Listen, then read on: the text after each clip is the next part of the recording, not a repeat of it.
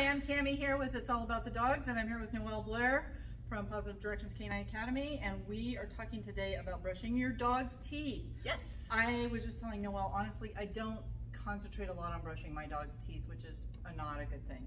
But most people don't, do they? No, not a lot of people do. This is something that um, I start talking about with my students um, in puppy class because mm -hmm. I think it's an important thing to do. It is. This is Bliss. Bliss is going to be 11 in December. That's awesome. Hard to believe she's that old. Um, she's awesome. she had to have a tooth pulled one time.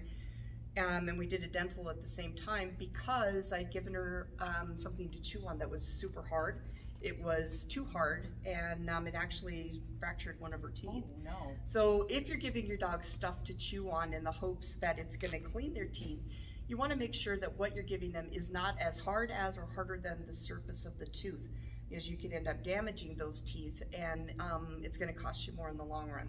So things to stay away from are weight-bearing bones, um, so like the big um, femurs, um, especially if they've been bleached because the bleach stays in the bone and then they're oh. eating bleach. Or um, I'm not a real big fan of antlers. Um, really, because that's, that's all the rage right now. Is it antlers, is, and right? that's what my dog did, a slab fracture. I had gotten them as a gift from somebody, and I gave oh. one to one dog and one to another dog, and both of them, um, her daughter actually ended up with a slab fracture, same tooth, had to have both of them done in the same week, and boy, was that yeah. expensive. Ouch. That's crazy. Yeah. Well, you know, we brush our own teeth every day. We do. Multiple times a day, usually. I would hope so. I but brush. You, I know I brush my teeth uh, two or three times a day. Do you? Typically. That's awesome. You know, I feel good if I can get my teeth brushed in the morning and before I go to bed. Um, Sometimes at lunch I brush my teeth, not every day, but you know. Uh-huh. So yeah. so why would you think it would be any different with your dog? Exactly. You know, um, the rule of thumb is you should be doing something for dental health daily. So whether that's giving them something to chew on or brushing their teeth, you need to be doing something every single day. this is bored. to keep your dog's teeth clean. So as you can see, um, I've got some toothbrushes here and I've got some toothpaste I'm gonna show you. And then this is just a sample of some of the treats that I give to my dogs. These, um, the brand is Virbac, and it's the CET enzymatic chews. The um, enzymes that are on these chews um, have a chemical in them that will help soften the tartar. Tartar looks like peanut butter but feels like concrete. And the only way that you're gonna be able to get that off is with power tools. So I don't recommend, you know, she's like, I would, I also I would, enjoy I having like, these. Like um, ideally, what I would do is I would brush her teeth and then I'd give her this to chew on. Um, that enzyme on there keeps the tartar soft, making it possible for natural chewing and um, the occasional toothbrush to get off most of that stuff. Well, and doctor, uh, my vet had told me that if, you know, if, if you're lax like I am in the habit of brushing your dog's teeth, mm -hmm. like you should be, right. then I should be giving them these types of things just because it's going to help. Now um, you can see she's pretty excited about this. Um, this is a rawhide flip. It's about 75% protein um, and then the enzymes on the outside of it. As with anything, if you're going to give your dog something new, and I'm sure some of you had a heart attack when you heard me say the R word. Um, rawhide is not necessarily a bad thing for your dog to chew on. Anything can be dangerous if your dog tries to swallow it whole, and it doesn't matter whether it's a rock or a hoof or a rawhide. So, um, well, and it depends on where these come from. Yeah. Um, so be sure you're reading your labels. Uh, these come from Texas, I, I think it says on here. I don't. Fort Worth, Texas. Yeah, I was so. gonna say I know that they're made in America. They're not. Um, they're not. They're not Chinese. China. So. So, which is a big thing that's that's caused a lot of problems because they put uh, one of the things they put glue on those, which is nasty and there's all kinds of other stuff. So, you know, you know, in order to create rawhide, they put it through formaldehyde, they bleach it, they scrub it, then they glue it to make it into the shapes that they do. So I don't know if that's necessarily a Chinese thing, but I do know that it is definitely a thing. So um, just well, and there's also you can buy pig's ears or cow's ears. Um, I don't like the pig's ears because they're too greasy. Yeah, they get grease all over whatever they're chewing on. Mm -hmm. But but the cow's ears and the goat's ears you can get at you know a place like Murdoch's mm -hmm. or or something, or online. And we're going to actually have some links to these items in our comments below so that you can take a look at them. Yes. Now, I like these toothbrushes because there's a big and a little end. Um, I would recommend just popping over to the dollar store and getting a dollar toothbrush. And you want to get the kind that are soft or medium, but not extra hard because you're going to end up raking those gums and making them bleed, and that's going to be painful for your dog, and they're not going to want to have you brushing their teeth.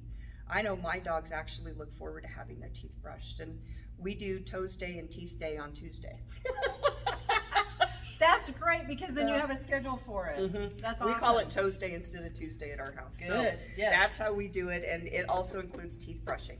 So um, the way So how often do you brush your dog's teeth? Is it once a week? It's definitely at least once a week. Um, some days when I'm feeling really good, I will do it. I actually put my toothpaste and each dog has their very own toothbrush. We don't share toothbrushes um, because you don't want to pass disease back and forth. Your dog may have something that you're not aware of. And if you're sharing toothbrushes, that can really cause problems. Just like people, you wouldn't share your toothbrush with Right, someone Right. you else. may kiss so- your husband with your mouth open, but you don't share his toothbrush. so There you go. same kind of thing. You make so um, basically what you're going to do is you're going to try to um, hit where the teeth and the gums meet because that's where the tartar starts to collect. If the tartar collects along that gum line, what ends up happening is the gums get red, they get swollen, and just the simple act of eating kibble um, can actually break that open. And when that happens and the gums start to bleed, all that disease and bacteria that's contained in the tartar goes into the, the blood supply and it will travel to all of the major organs and it causes organ failure. So it can cause liver failure, kidney failure, it can cause all kinds of problems. So it's really important to keep your dog's mouth as clean as possible.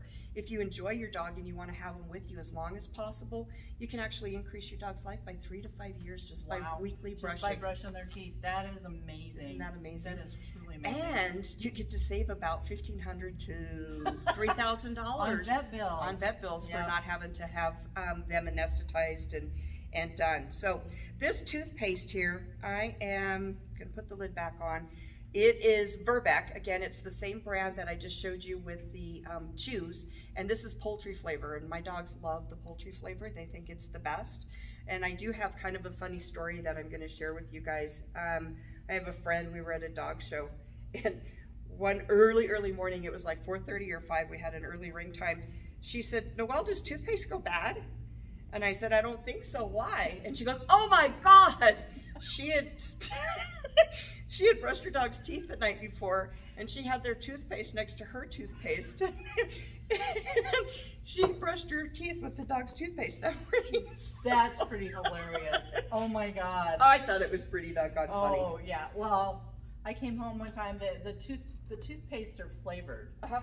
and uh, I had not gotten the drawer completely closed, and I came home to find the tube of toothpaste and the toothbrushes all in the living room, chewed up. Uh, Yeah, they can eat the whole tube of toothpaste, and that's not going to hurt anything. yeah. So um, the way that I get my dog started with this is first I just let them smell and kind of lick the toothpaste. So if you've got a dog who's never had their teeth brushed, that's how I would recommend starting.